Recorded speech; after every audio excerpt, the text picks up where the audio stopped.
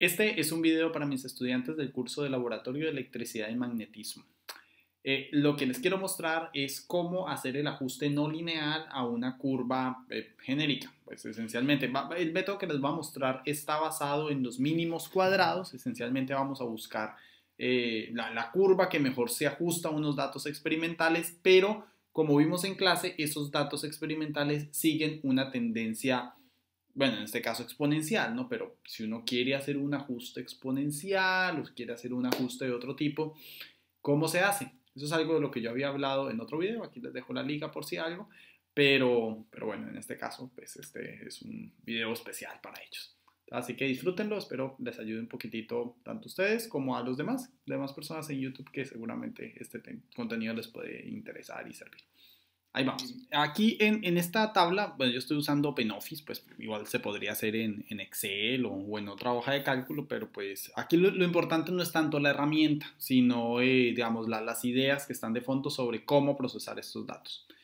Entonces, lo que tengo aquí en estas dos columnitas son datos experimentales medidos con, con el osciloscopio, datos de los marcadores de tiempo y voltaje para, en este caso, la carga del capacitor, vamos a ponerle aquí, entonces esto, la, la carga del capacitor, insertar columnas aquí, eh, carga de un capacitor. Eh, y por aquí tenemos los datos de la descarga de un capacitor. Descarga de un capacitor. Entonces, están ahí los dos. Y bueno, pues, sabemos de la teoría de que esta, estos datos se ajustan a una curva exponencial. Del cálculo realizado en clase sabemos de que la, para el caso de la carga del capacitor, la curva que sigue es más o menos así. Esto tiende aquí asintóticamente a un valor. Este es el tiempo y esta es la carga en función del tiempo. Debería ser Q minúscula para ser más precisos. Y la eh, ecuación que el modelo que sigue la carga del capacitor es de la forma que Q de T es igual a C, que es la capacitancia, VF, que es el, voltaje de la fuente, multiplicado por 1 menos E a la menos eh, T sobre RC, donde este, este factor RC es lo que se conoce como el tiempo característico de carga del capacitor. Para el caso de la descarga, entonces la, la, gráfica que lo que describe es, es, una función exponencial decreciente, es así, es eh, una, una, exponencial como la de siempre. Y la descarga eh, se rige por el modelo Q de T igual a CBF o la carga inicial esencialmente por E a la menos T sobre RC datos experimentales, bueno, primero esto hay que aquí hacerle más cosas, obviamente para que todo quede así como más lindo, pues sería, bueno, indicar aquí que este tiempo viene en unidades de segundos y que este, eh, esta diferencia de potencial viene en unidades de volts, primera parte. Eh, lo siguiente, pues obviamente es como son puros datos experimentales, pues conviene de que todos estos datos eh, tengan pues una resolución adecuada, ¿no? Por ejemplo, ahí los, estos son datos de los estudiantes, yo no los medí, pero pues ahí los, los, los estuve checando y pues sí se veía bien. Eh, y bueno, estos son los valores que ellos midieron, ¿no? Entonces son de, por ejemplo, estos son cuántos? Son eh, 500 microsegundos, ¿no? Para el último dato y aquí son este 9 microsegundos el, el valor del marcador. Y los voltajes, pues, que midieron con el osciloscopio fueron estos, entonces vamos a darle allí una doble, así para que tengan todos la misma precisión, ¿no? Entonces, obviamente, si hacemos una gráfica de estos datos, vamos a hacerla aquí, insertar, eh, gráfica, a ver dónde está. Mm, columnas, celdas, hace tiempo no trabajo con esto. Eh, imagen, no. Entonces, bueno, aquí hay un, un botoncito de, de, gráfico. Entonces, insertar gráfico. Obviamente esto aquí pues no, no es un gráfico de barras lo que queremos hacer. Entonces le decimos que haga un gráfico de dispersión. Ya tenemos nuestro gráfico de dispersión. Fíjense, ahí están nuestros datos experimentales. Mm, y ya, bueno, ahorita voy a dejarlo así simplemente por... Se puede hacer más lindo, pues, pero... Pero, eh, por ejemplo, es que sí, para que quede más bonito, ¿no? Que en el eje, entonces en el eje X tenemos valores del tiempo en segundos y en el eje Y tenemos eh, voltaje en volts. O diferencia de potencial, para que sea más, más preciso.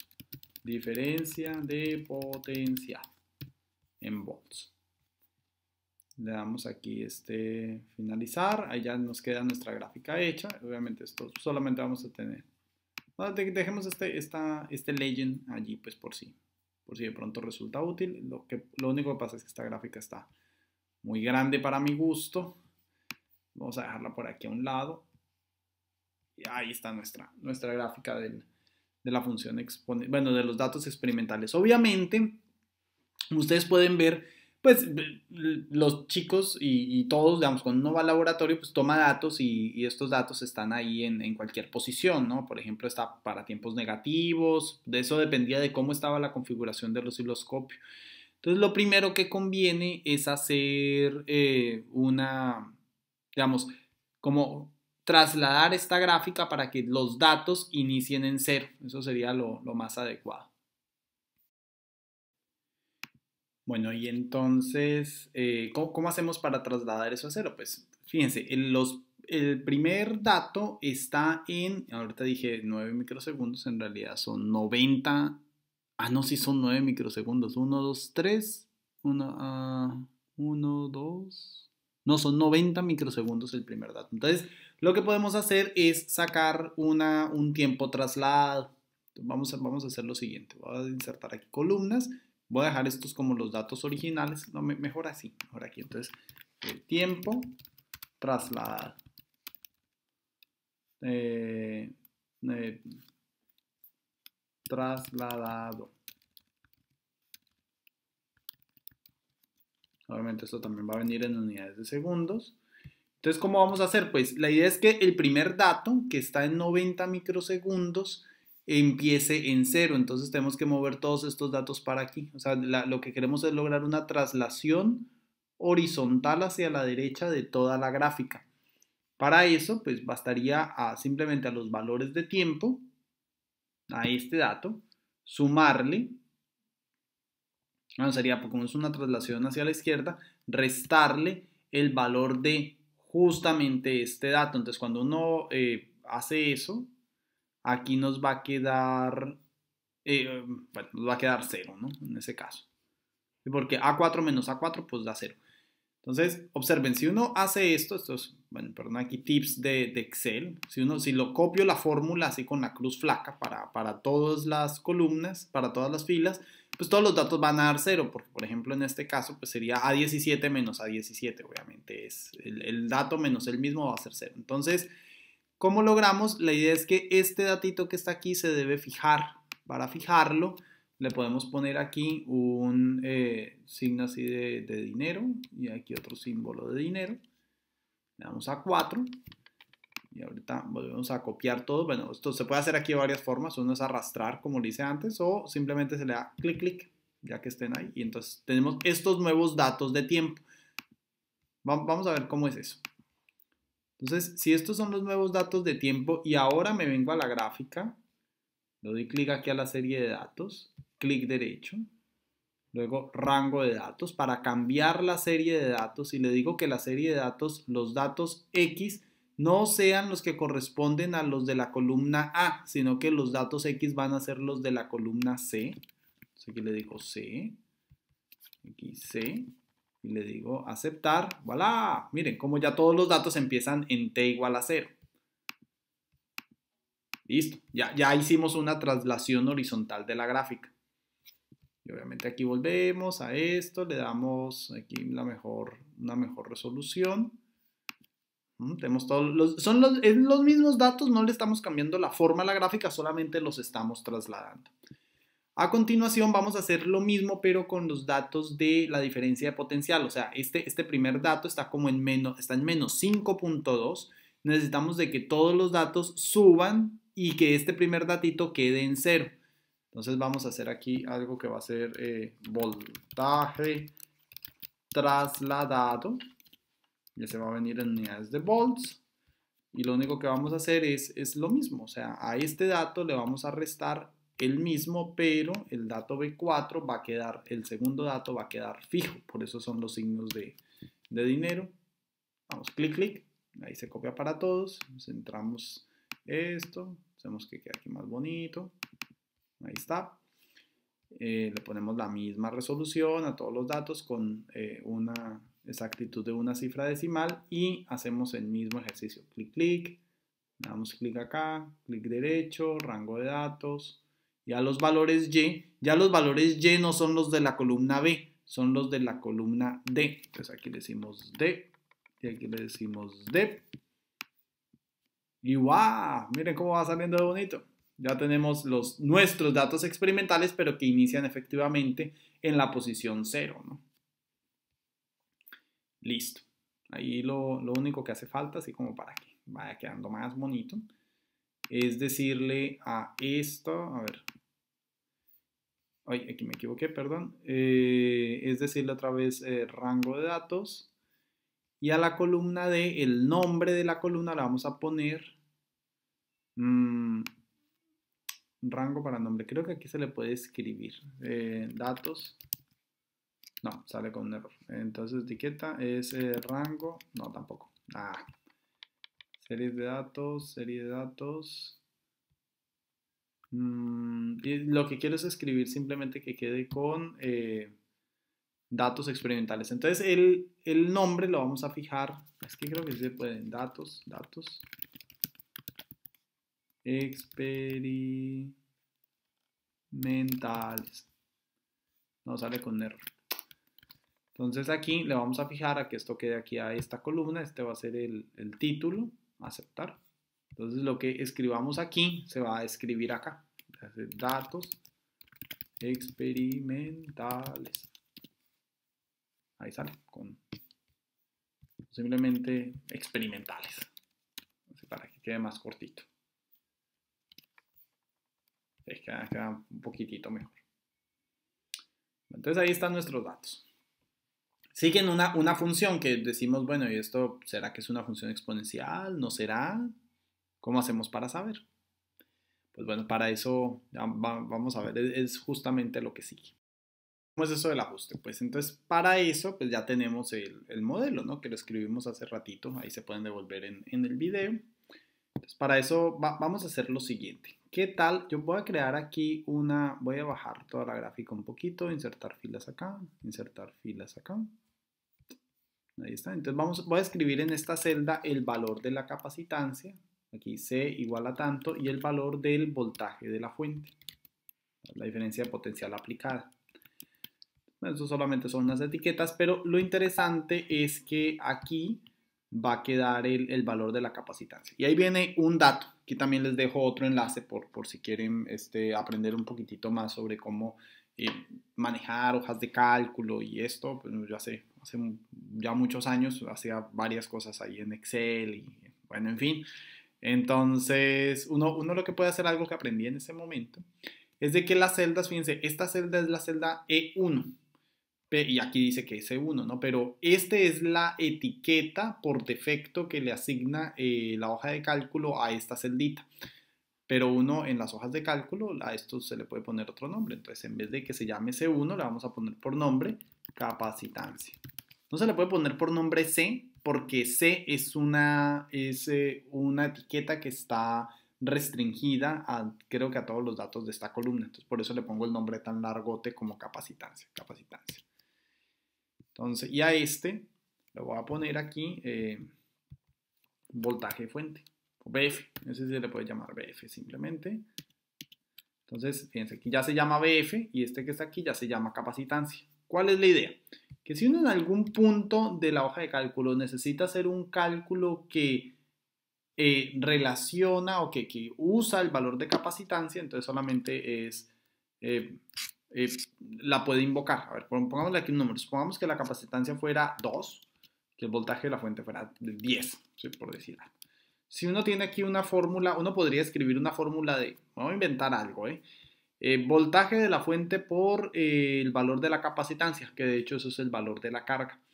Entonces uno podría escribir, si, si fuéramos a hacerlo así como a pie, habría que decir E1, E1 por E2, E2.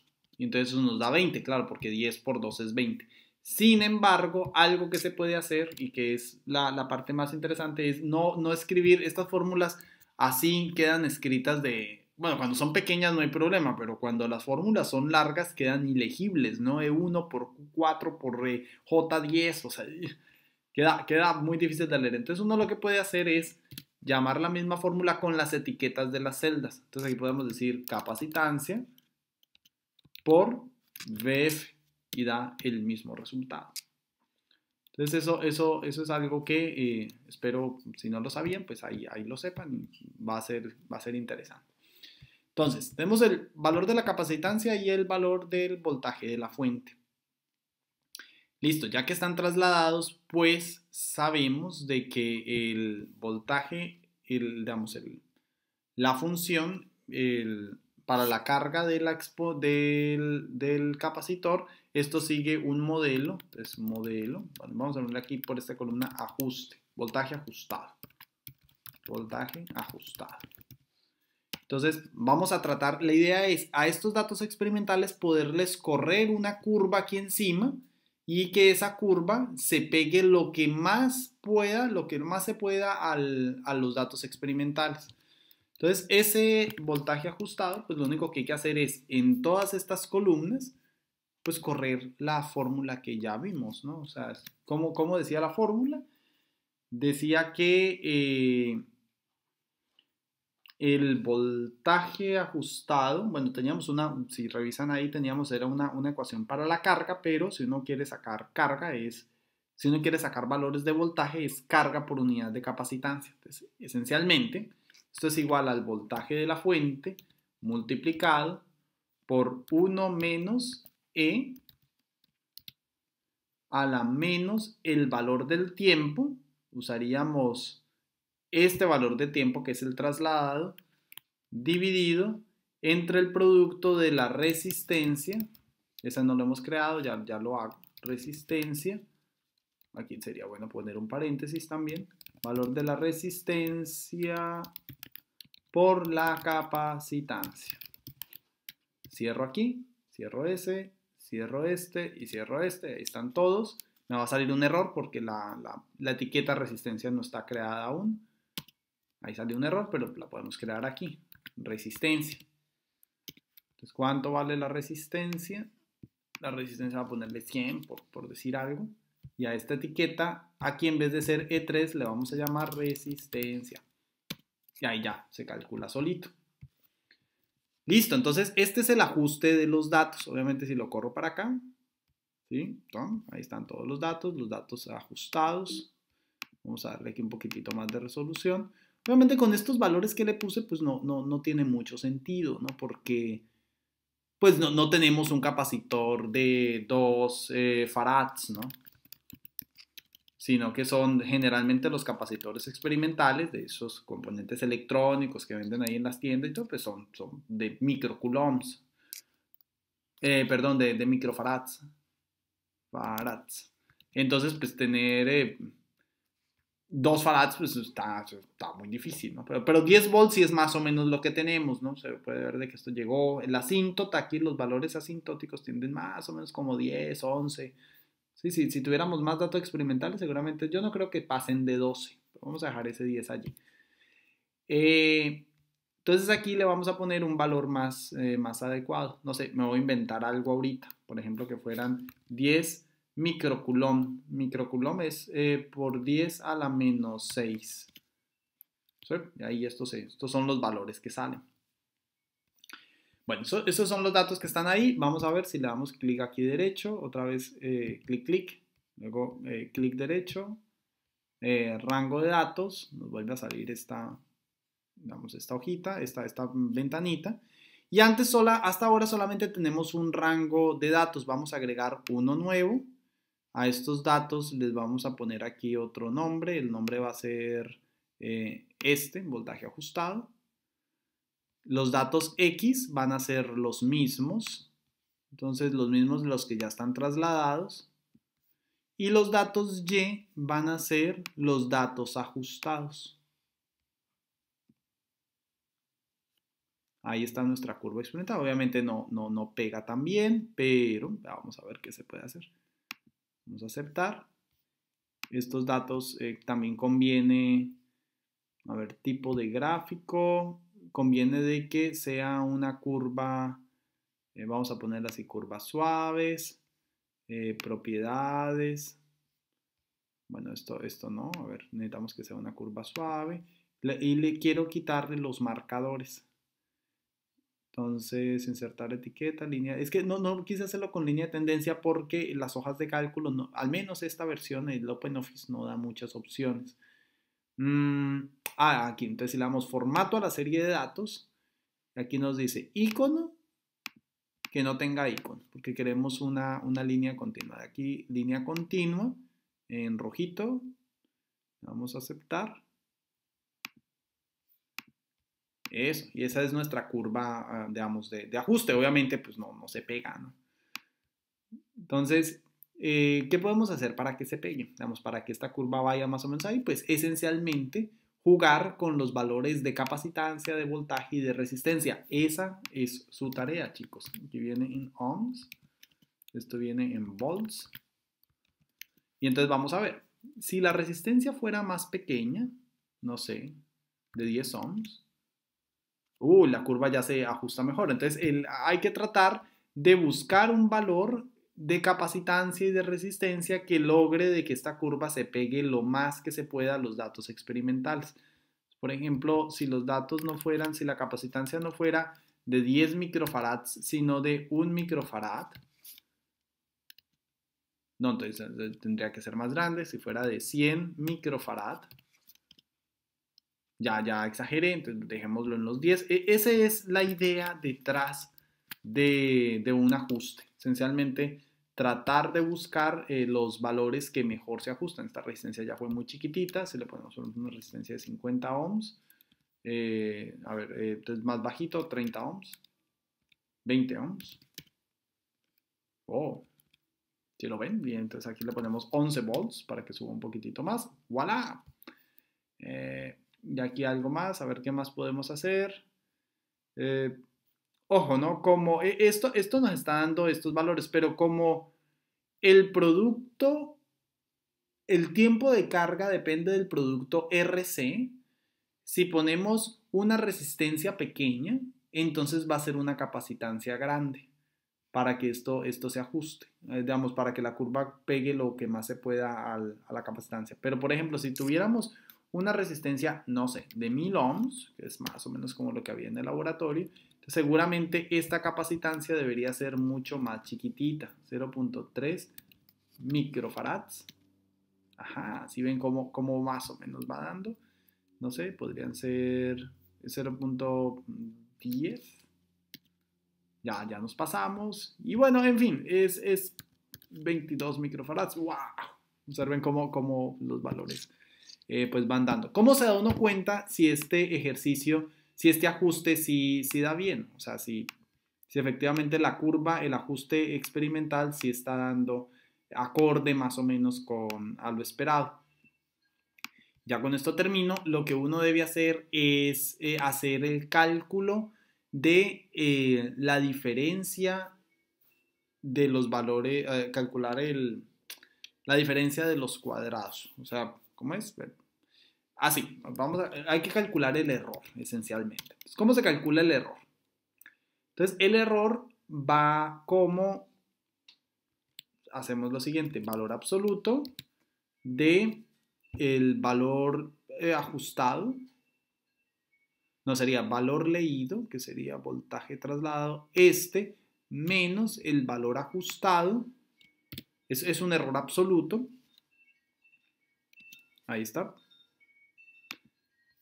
y luego está, em, ah, no, porque es al cuadrado, no, no, se debe ser con el valor absoluto, sino el valor leído menos valor eh, esperado elevado al cuadrado.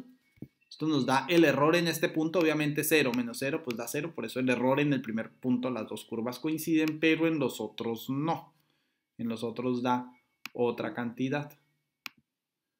Entonces, démoslo ahí así como con tres cifras. No, sería mejor con... ¿Cuántas habían? Dos, cuatro, cinco. Aquí creo que le puse ya mucho. Deberían ser cuatro, todos con la misma cantidad, cinco. Y, entonces este es el, error al cuadrado. Sí, la, es la diferencia entre el valor leído menos el valor esperado elevado al cuadrado. ¿Para qué sirven todos estos números? Esencialmente para calcular la suma de los errores al cuadrado. Entonces, si hacemos la suma de estos valores, suma de todos estos valores, pues vamos a encontrar esta cantidad que está aquí y ya con esto eh, finalizo el, digamos, este tutorial. Entonces nos va a dar esta, esta cantidad que está aquí. ¿Cuál es su ejercicio? ¿Cuál es el, propósito cuando uno hace un eh, ajuste por el método de los mínimos cuadrados? Que de alguna forma es más o menos lo que hacen los software, solamente que corren unas rutinas ahí con unos ciclos para, para buscar los parámetros. Es tratar de ajustar estos valores de capacitancia, voltaje y resistencia de forma tal de que la suma de los cuadrados, esta cantidad, vamos a señalarla aquí en rojo así, de que la suma de los cuadrados adquiera el valor mínimo. Ese es el propósito. Entonces, uno que tiene ¿qué es lo que hacen los programas y cuál es la invitación para que ustedes trabajen con esto? Pues que simplemente muevan aquí los valores. Bueno, por ejemplo, ¿no? Voy a, volver otra vez a los 33 por ejemplo, ahí la suma de los cuadrados, de los errores al cuadrado dio 52. Entonces quiere decir que estos valores, que el ajuste no es tan bueno, que se, se, se, aleja la curva de los datos experimentales. Entonces uno pues esencialmente le busca aquí un poquito y creo que con 22 no era que funcionaba mejor. Con eso tenemos una suma de errores al cuadrado que solamente llega a 4. Y tal vez podría ser mejor. Esto se debe poder llevar casi a cero si el modelo es adecuado. Por ejemplo, si fuera 21, wow, con 21 es todavía más chiquitito. Si fueran 20, 2.4. Eh, a ver, aquí 21, 2.9. Entonces, por ahí estamos cerca. Es, es, más o menos como un juego. Ahorita veanlo como un juego. Pero eh, uno pues puede automatizar esto para que el el sistema, por ejemplo, fíjense que ya subió 2.7 para que el sistema encuentre de forma solita cuál es el valor más adecuado que, ajusta, digamos, que, hace de que este error se disminuya muchísimo. Entonces, ¿qué tal si fuera 11.1? ¿No? Eh, si fuera así sucesivamente. Ahorita me interesa que lo hagan así, porque al hacerlo así yo creo que esto ayuda un poquitito más a entender eh, cómo se procesan datos experimentales, más que ir a a usar un software, algo, digamos así, ya como muy elaborado, o no sé, ¿no? Otras cosas que... O sea que tal vez ahorita no es el momento. Solo, por ahorita lo importante es aprender a manejar los datos experimentales. Y bueno, pues espero que les haya gustado y esa es la idea en esencia de lo que toca hacer. Entonces, eh, bueno, a todos, el público de YouTube, pues ahí nos vemos en, en otro tutorial express. Bye bye.